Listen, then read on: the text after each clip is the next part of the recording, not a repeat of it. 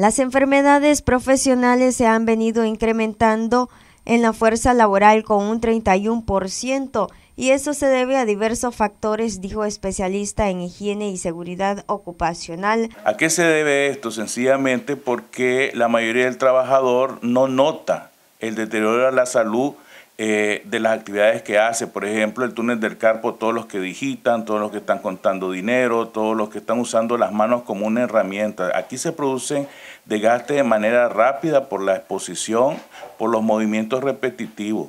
De igual manera tenemos eh, enfermedades como la eh, hipoacusia, la sordera, la sordera, y esta es una de las que está afectando más a los trabajadores que están trabajando en la vía. Por ejemplo, los que andan eh, en la parte de recolección de basura, con esos pitos que andan arriba de los 90 decibeles. Igual manera, trabajadores que por sus actividades manejan eh, equipos y maquinarias pesadas.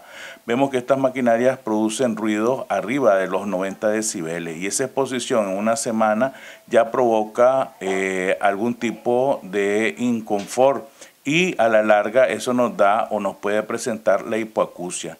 En nuestros análisis hemos visto que la hipoacusia afecta al oído izquierdo y se tiene la pérdida del 30% de la escucha en personas que han estado expuestas más de 5 años haciendo la misma tarea. Rodríguez agregó que las medidas de prevención deben de hacerse en conjunto. El empleador dotar al trabajador de los equipos de protección personal adecuados que de verdad sirvan y que sean la fuente de frontera entre el, contaminante y el humano.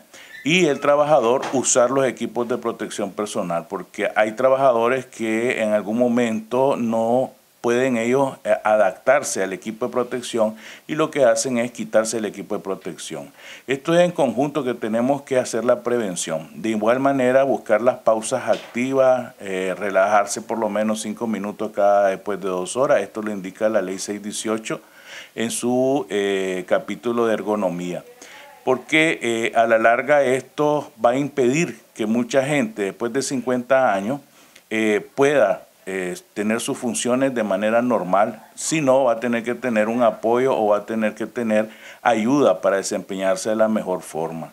Entonces las enfermedades profesionales hay que ponerle atención, estas se dan a mediano y largo plazo y tienen una afectación eh, crónica, eh, difícil de tratar y muy costosa. Noticias 12, Darlene Telles.